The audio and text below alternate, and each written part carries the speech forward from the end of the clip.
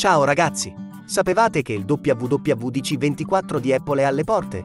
Questo significa che Apple lancerà le nuove beta di iOS 18 e iPadOS 18. Sono sicuro che siete tutti eccitati per il rilascio di iOS 18. Per questo aggiornamento sono già state vociferate diverse caratteristiche molto attese. La prima è che Siri diventerà più intelligente, con l'integrazione dell'intelligenza artificiale che consentirà una gamma più ampia di utilizzi. La seconda è che i temi del desktop di iOS 18 possono essere personalizzati, consentendo di creare il proprio desktop Apple. La terza è una nuovissima app computer per iPadOS, che massimizzerà le prestazioni del vostro iPad con il chip M4.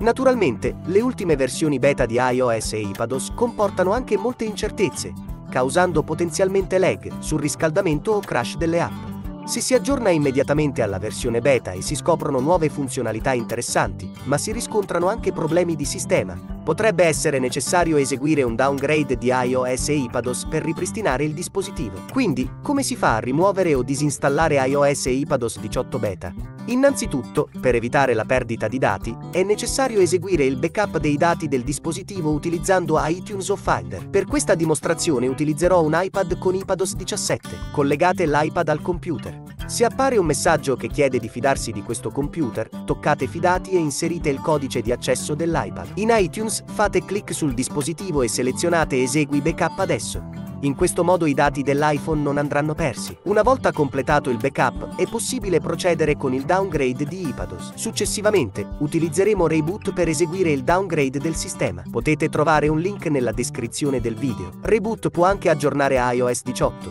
quindi se non avete ancora aggiornato, potete provarlo qui. Selezionate la funzione di downgrade e fate clic su downgrade. Nella versione del firmware è possibile scegliere una versione supportata per il downgrade. Fare clic su download per ottenere il firmware di downgrade. Una volta completato il download del firmware, fare clic su Initiating Downgrade. Il dispositivo inizierà il ripristino e il downgrade. Questo processo richiede circa 10 minuti. Durante questo periodo dobbiamo modificare i dati di cui abbiamo appena eseguito il backup sull'iPad. Premete i tasti Win e R per aprire CMD, digitare quindi %, updata % e premere invio. Seguite questo percorso per trovare il file di backup di iTunes. Se non riuscite a trovarlo, premete nuovamente i tasti Win e R, digitare quindi user profile per cento e seguire questo percorso per trovare il file di backup. Nel file di backup individuare il file info.plist, fare clic con il tasto destro del mouse e aprirlo con il blocco note. Quindi premere CTRL e F per cercare i campi. Digitare a product per effettuare la ricerca.